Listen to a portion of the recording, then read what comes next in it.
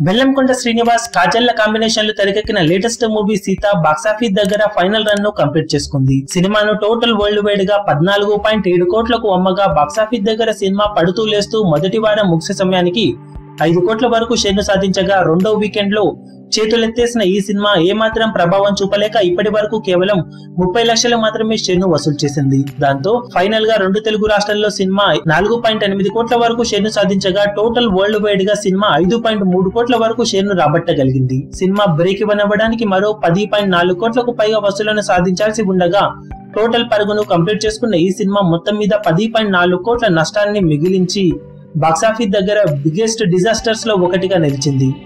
వరుసగా ఇప్పటి వరకు కెరీర్లో నికార్సైన హిట్ లేకుండా కొనసాగిస్తున్న బెల్లంకొండ శ్రీనివాస్ కెరీర్లో మరో డిజాస్టర్ మూవీగా నిలిచిన ఈ సినిమా కాజల్ బెల్లంకొండ శ్రీనివాసుల కాంబినేషన్లో వచ్చిన కవచం డిజాస్టర్ తర్వాత రెండవ డిజాస్టర్గా మిగిలిపోయింది. ఓవరాల్గా క్లీన్ హిట్ కోసం చకోర పక్షిలా ఎదురు చూస్తున్న బెల్లంకొండ శ్రీనివాస్ ఇప్పుడు ఆశలన్నీ Kollywood blockbuster Ratsasan remake Rakshasudu పైనే పెట్టుకున్నాడు. ఆ సినిమా తమిళనాడులో అద్భుతమైన విజయాన్ని సొంతం చేసుకోగా తెలుగులో రీమేక్ చేయడానికి సిద్ధమైన బెల్లంకొండ శ్రీనివాస్ వచ్చే నెలలో ఈ సినిమాను రిలీజ్ చేస్తుండటంతో పూర్తి ఆశలను ఆ సినిమా పైనే పెట్టుకున్నాడు.